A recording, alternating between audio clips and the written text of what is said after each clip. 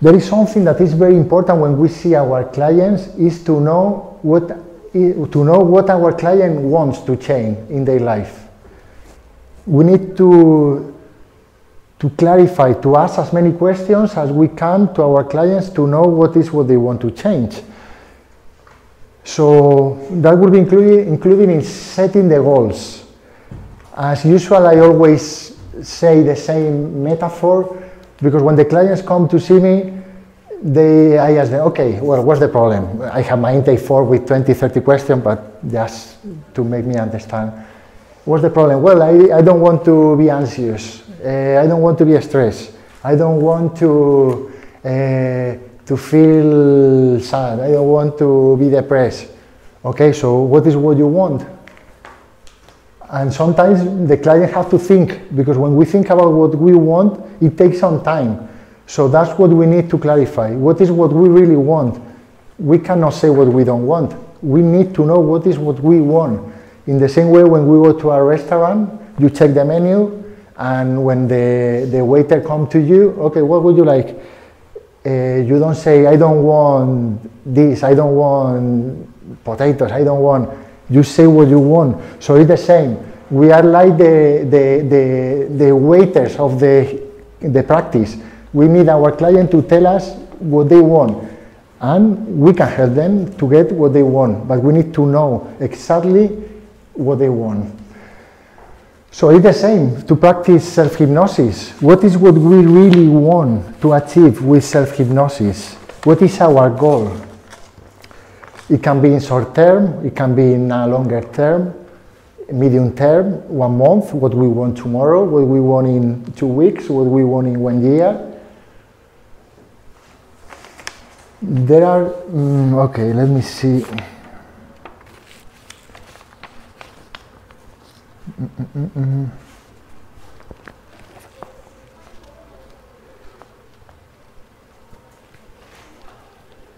I want to make sure that I cover everything that is needed. Uh, uh, um, okay, I'm going to take my guide. Okay, by the second step will be uh, relaxation. So what I was saying, the preparation is important, just to be relaxed, not having the mobile phones. And we're going to, the, to learn inductions today, how to do inductions on ourselves. That is, probably, is similar than the, the inductions I can tell you as a hypnotherapist. That's the same. The only thing that you do it on your, on your own. One of the inductions, you have been here before, is just the eye fixation. You just focus the stay at one spot on the wall and after a while it's obvious that you start to relax and you feel tired and your eyelids drop so you can do the same on your own and you have seen the hypnotherapists or the hypnotists in the past they are recognized for the watch. So what do we do this as a hypnotherapist? I don't do it but i could do it. Just to help my client to relax because when you look at here for a long period of time you get absorbed in the movement. So that's what they used to do in the past. Okay, look, in, look, at the, look, look at the watch, look at the watch. So the client or, or whoever was, gets absorbed in the, in the pen or in the watch or whatever and gets relaxed and follows the, the suggestion. So the same we do now is more, is moderner, just to, look, to stare at one spot on the wall and staring at that, point after, at that spot after three minutes, you really want to close your eyes because it's uncomfortable. So that's the same, and we can do that on our own, but it requires um, Um, discipline. It requires discipline to do that and practice. Practice. I don't know if I have, I, I have said before that practice is, is one of the most important things to learn self hypnosis. Probably I want to remember you to remember that self hypnosis is more powerful. The more you practice, the better you get in that. Okay, the third thing or the third step is going to be to enter in trance. How do we enter in trance? What is trance? The first thing, because many people wonder that sounds like very powerful trance. You can imagine the zombie just, eh, well, trance is just being deeply, deeply relaxed in a hypnotic state, we could say because hypnosis is just being deeply relaxed, opening the creative part of your mind, willing and open your mind to changes. And basically, that state when you are really willing to change, when you open your mind to receive information, that's a state of trance. As I was saying before, you are, we are in trance every day, six, six, seven, or eight times per day, especially in the morning when we get up in the morning, and at night, at night time when we go to sleep is when we are more suggestible because well in the morning we are not really thinking much Uh, about the stuff that we have to do and when you are watching a movie especially when you start crying or you start laughing even if you know that the movie is not real why are you crying why are you laughing so you are in that state of trance so i want to explain that trance trance it's just that hypnotic, hypnotic state that help you to do changes, to change things. That's all. Positive talk. Okay, the fourth step will be a positive talk. Um, positive talks are like small steps to achieve our goals. I forgot to say that when setting our goals, there is something that is important. Martina, I know that I could hypnotize you in 10 seconds now, because now you are in delta state. you are in delta state now. I could, I could tell you now, sleep. I'm falling asleep. And you will quit smoking, you will do whatever you want right now. you know? I'm trying to stay awake though. yeah. No, that's okay. Just feel free if you want to stand up because it's very warm in here. If you need to, if you need to take a coffee, if you need to jump or whatever, just feel free to go wherever you want. So.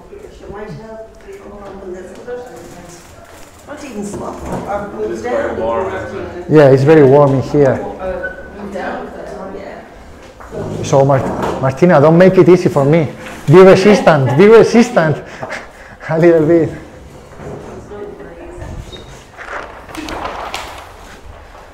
Okay, the first step.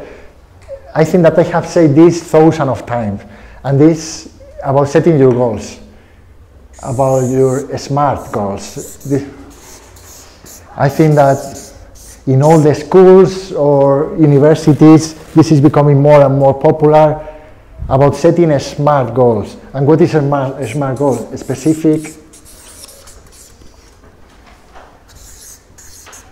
measure, measurable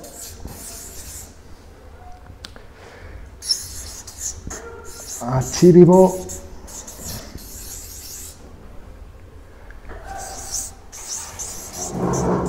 realistic and time timing so our goals should be well uh, always smart smart goals. Is it clear do you understand about by smart goal what, what it means or you, or you would like I explain a little bit more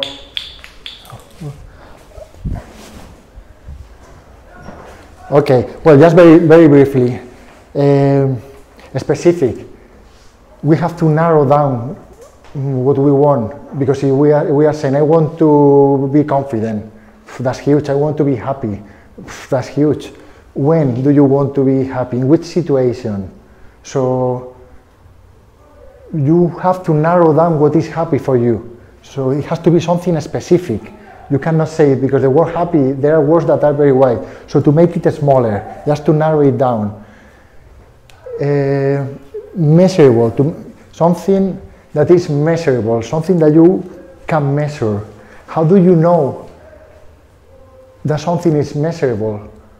Mm, you could say, okay, I want to be happy when I'm seeing my partner uh, during the weekends. I don't know. I'm narrowing down. I'm just imagining a situation that someone is a helpful relationship or whatever. And after the weekend, have you been happy? So you can something that you can measure. Uh, achievable. So can you achieve that, or is mad, or, or, or your girlfriend or boyfriend is hitting you and, and you want to be happy? Is it something that can be done, or you want to be uh, I don't know, confident and you want to be the most confident person of your company. But your company, there are 1,000 people in the company and you are lacking confidence. Can you really be the most confident person of your company? It doesn't make sense. So it has to be uh, something that we can achieve. And usually we used to set small goals. That's important with our clients as well. Instead of doing something big, we are winning if we set small goals, little winnings, little winnings or little wins. If someone wants to be confident, let's set a small goal with that client. Okay, give me one situation, just one, where you want to feel confident. Okay, uh, when I talk to my man, um, whatever. Okay, so let's help that person to be confident in very specific and sure something that is easy, that is an achievement, something that we don't need to create superheroes. We don't need superheroes. We just need someone feels better with themselves. And we can get that by helping them achieve little things. By getting little things, we will achieve a great thing, as that's what we want to achieve with our clients, or with your friends, or with yourself, if you want to use self-hypnosis. Because self-hypnosis is the same. We can achieve great goals, but we cannot do it from one day to another day. We need little motivations. It's the same with diets in my case. Mm, We need from time to time some little treats as well, otherwise we're going to, to get mad. So those little motivations is what we need. And it's easier to achieve our bigger goal if we achieve just short goals. And timing as well.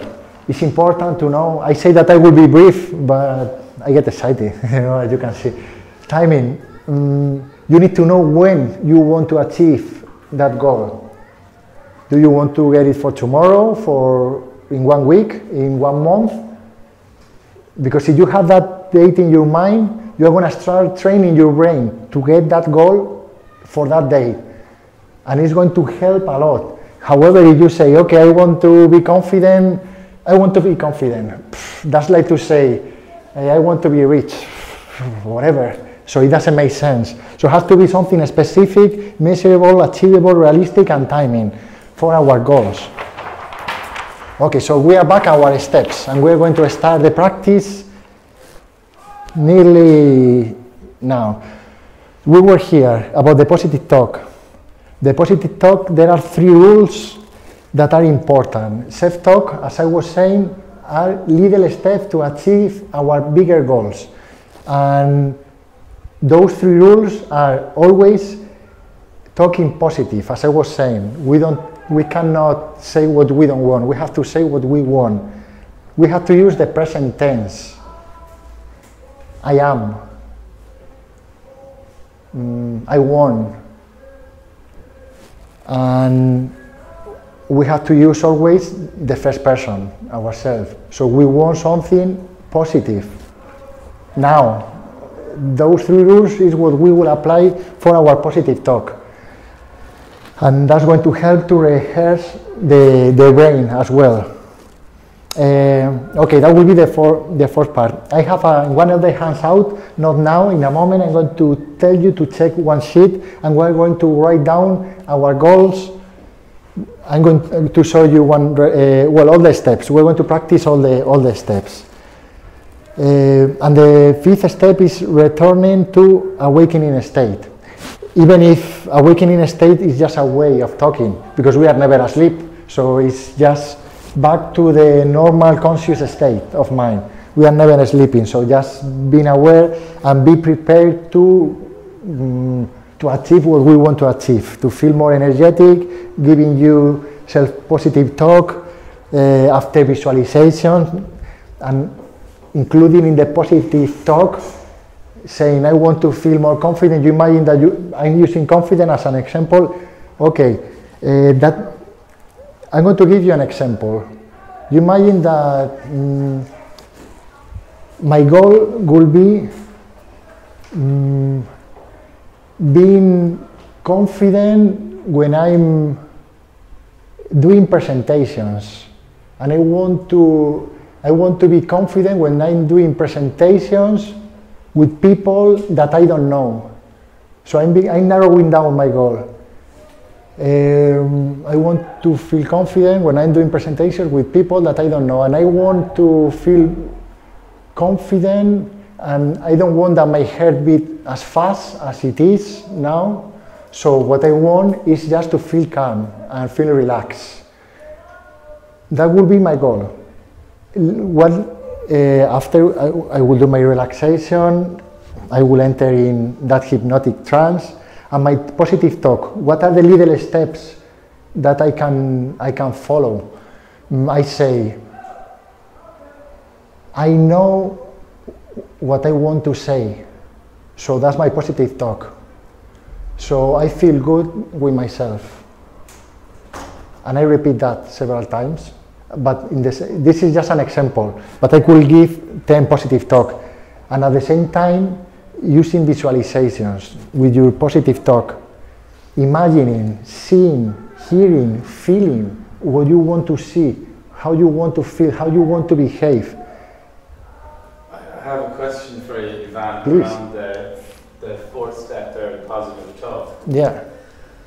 And what my, um, it's not a worry, but what my question is, when you have, so you've clear in your mind what you want to do, um, you've relaxed yourself, so and you're going to show us around that. So, I mean, I can do that. I can relax myself. I put myself into trance a lot of times, and normally I would do it with a recording. So, are you saying here that you'd actually do it without using a recording, and therefore, if you do, are you not risking the conscious mind coming back into play when you're actually talking, when you're because the conscious mind has to tell you what you have to say? A good question, Cormac. And there is a high risk that the conscious take over. Mm, obviously, if you can record yourself and listen to the CD, will be even better. And listening to CDs, that's even better. You are doing self hypnosis and you are just following the instructions uh, of yourself. So that's self hypnosis of someone else if you are listening to your CD. However, what is important is practice because you cannot listen to the CD all the time. And you might need to get in that state when you are in a meeting, when you are seeing someone, you are going to see someone uh, in five minutes. So you want to get in that state of feeling good. And you might learn how to, uh, how to get in hypnosis yourself as well, whenever. But there is a high risk that that can happen. That self talk that you start thinking, uh, this is useless or, or whatever, or it doesn't make sense what I'm doing, or whatever. You can start thinking about many things and not doing your self talk. So there is a high risk. So I guess that makes the goal setting stage even more important than that you are specific on what you want. Then maybe have that It's, in, it's important the preparation in advance. So we cannot start to do the self hypnosis if we don't know what we are going to do. So we need to have all this, uh, knowing all these steps before starting. We have to have it clear. Otherwise, you have to think about what you are going to do, there are many chances that you're going to start the session preparing what is the self hypnosis. Even if you believe that you are in self hypnosis, you are going to be thinking, okay, what is what I want now? So the preps are always before the session and to have it clear. And if we are able to record a CD with our voice, just writing down what we want or listening to someone else, that's even better. It's easier as well to do it. But the idea is to have one more tool and be able to master this tool and to use it to feel confident when we need it, to feel relaxed when we need it, to feel mm, whatever when you need it. Do I answer your question? Is it answered? Yeah, absolutely. Yeah. Okay. Can I just add something that's pure and that was um, a couple of the things that you mentioned I would do, you know, I would, would um, it sounds a bit like the law of attraction, you know, like you, you, I want, or it's not I don't want, and visualization, I practice that all the time. And um, being in the now, so like is the hypnosis just an extra button kind of, like is it all, are they all interconnected? They are interconnected, what is actually your question? Um, you know, it would be the staring at a spot. I would do that for meditation. So, is meditation a form of hypnosis nearly? It is. I mean, I Medita- wouldn't get to the stage where I can't hear the doorbell ringing or anything like that. I'd love to. But um, it, it just seems to be all interconnected, like Yeah. the law of attraction, the the, Right. the positive topics, the affirmations, and are they all Actually, I could tell you, I could tell you that yoga is hypnosis. For me, yoga is hypnosis.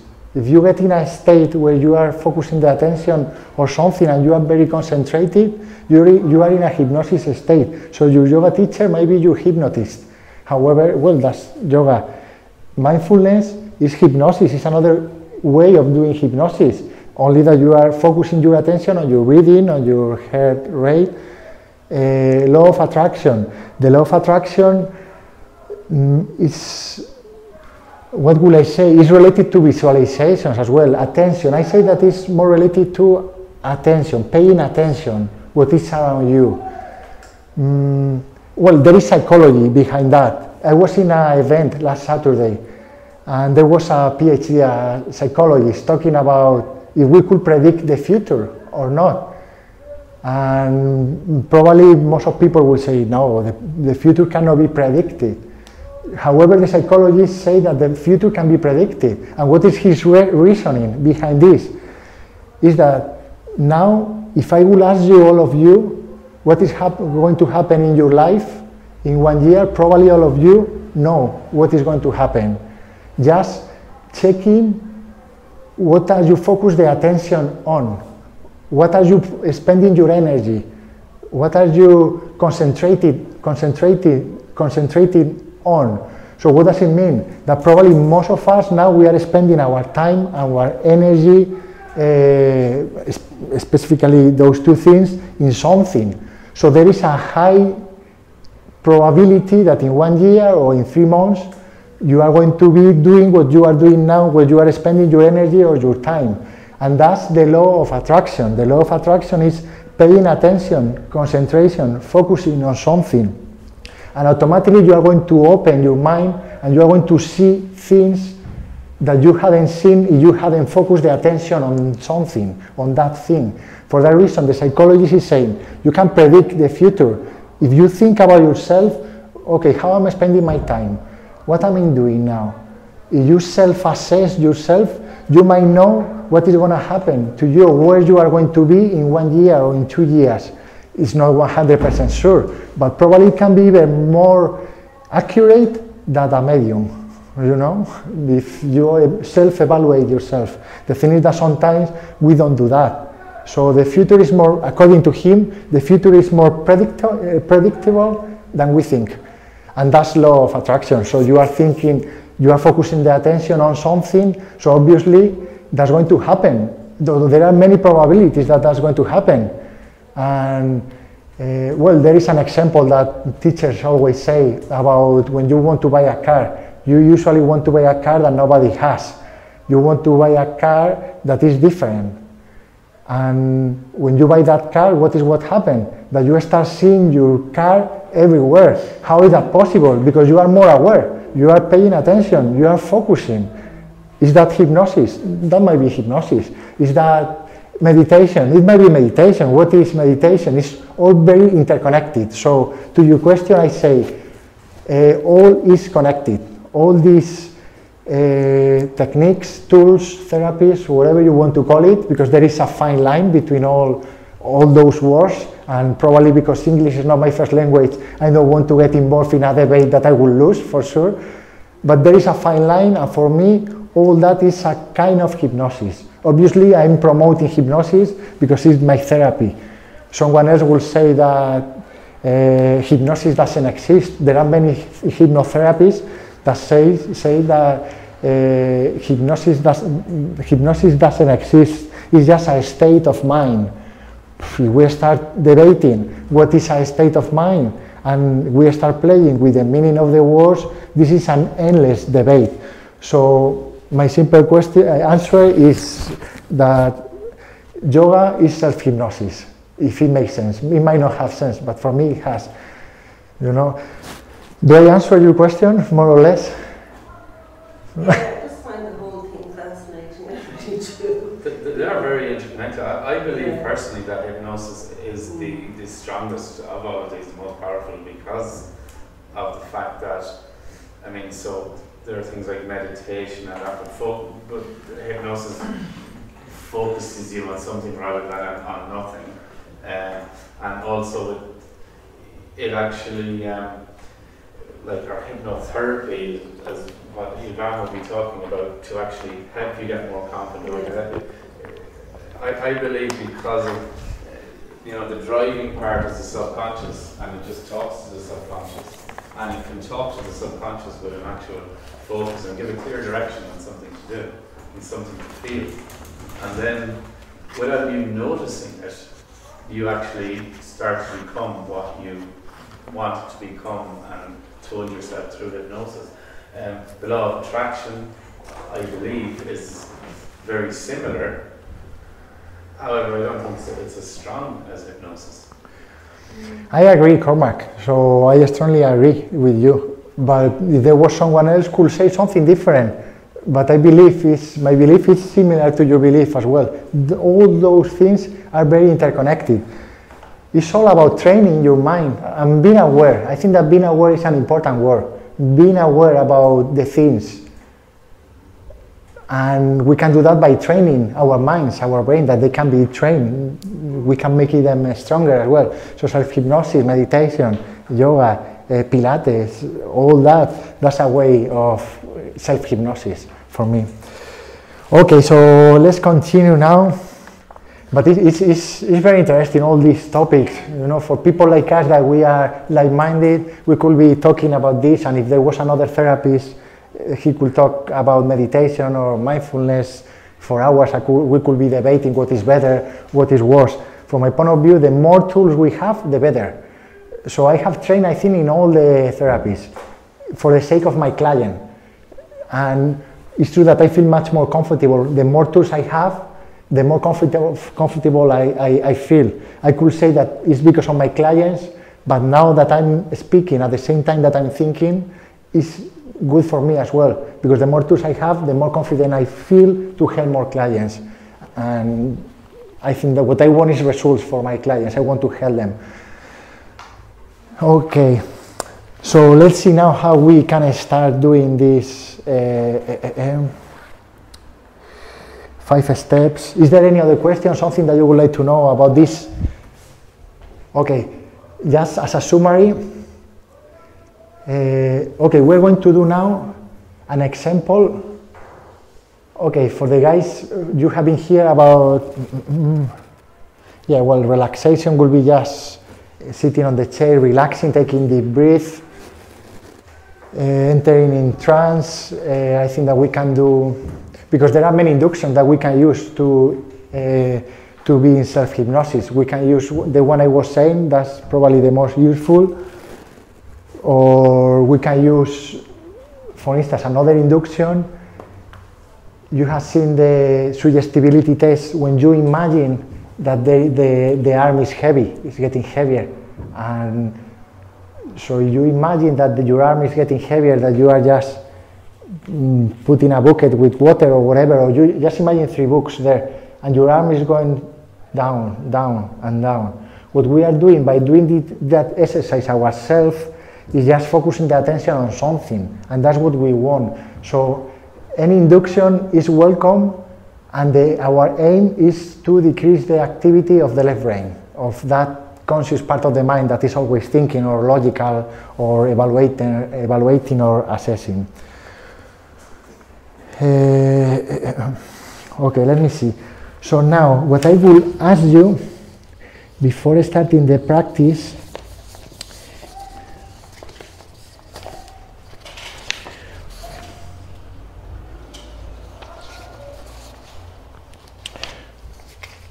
Okay, just to clarify.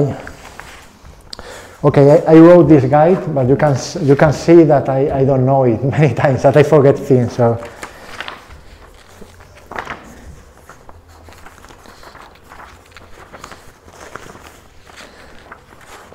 Okay, some mistakes that we do when we are practicing self hypnosis that are interesting to know. Uh, believe that self hypnosis is not effective for you. That's something very typical. Okay, this is not working for me.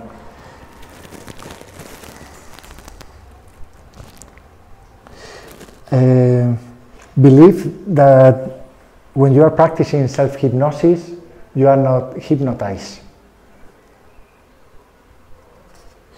Believe that when you are practicing self hypnosis, you are going to sleep. Uh, you are sleeping. You are never sleeping in self hypnosis. You are sleeping or you are not sleeping. Uh, difficulty to reach a deep level of trance. I have to say that even in a light state of trance, changes happen in our mind, in our body. So we don't need to be in a deep state of trance when we are, we don't hear any noise, we don't hear anything. So just with light state of trance, change, changes happen. Not seeing any progress or, or improvements, as I was saying. It might take the after practicing the first time you might say okay this is my tool. I'm going to take it with me everywhere. Or after one week this is crap. Uh, this is not working. So the truth is that it's depending on the person. We are all completely different so the more we practice the more useful it's going to be that's the only thing that is sure i cannot focus on my goals even if our mind is wandering away, mm, it's, a, it's a still effective because when our mind is wandering away, usually come back again. So it's like a tennis. Sometimes if we are in the session, even with clients, our client, I might be talking and my client is thinking about something else. But in many cases, the client come back to, to the session. So that's what going, what's going to happen to you as well during doing self-hypnosis you are going to suddenly switch and you are going to start thinking about something else. However, with the practice, you will realize, you will be aware that you are thinking about something else, and immediately you will be back to your session.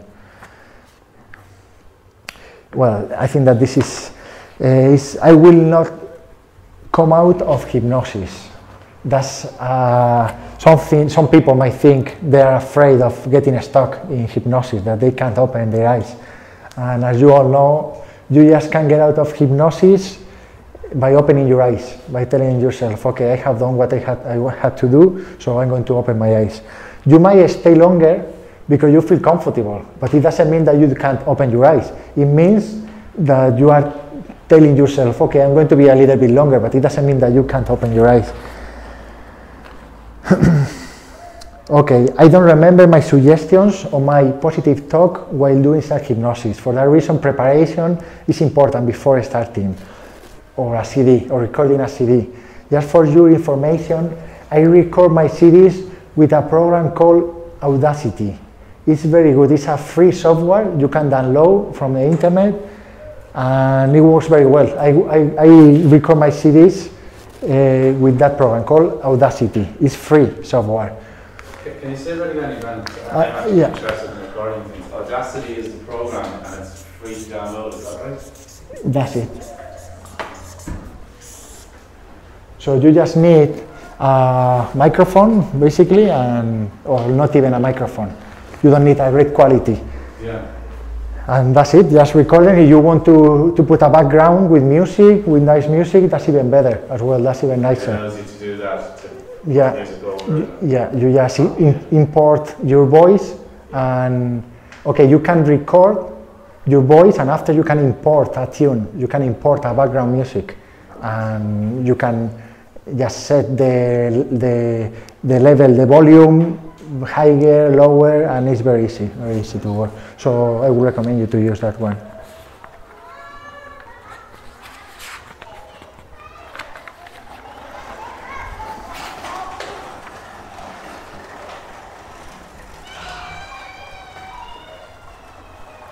Okay, at the end of my guide, there is a bonus that is called, what I was explaining to you, the fast phobia cure.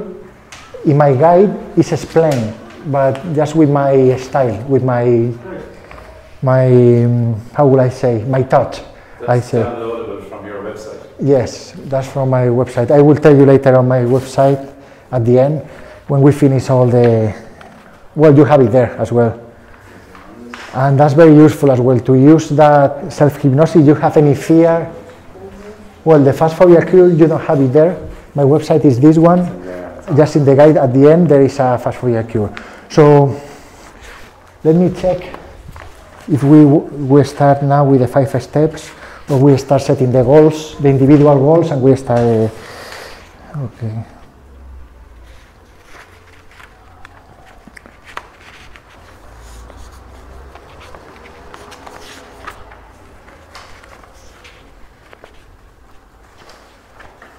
So what we are going to do now, we're going to set our goals. You are going to take now one of the, the last sheet I gave you. There is a form.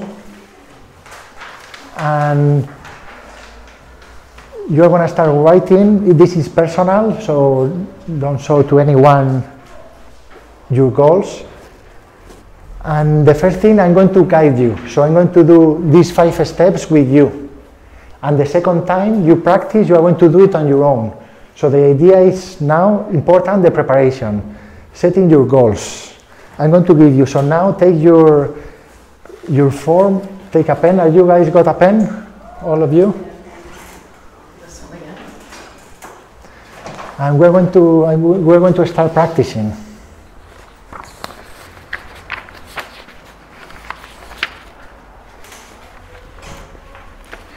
Remember, the goals must be specific, must be something that you can measure.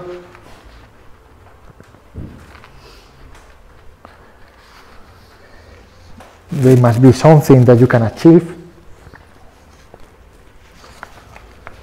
something that can be realistic.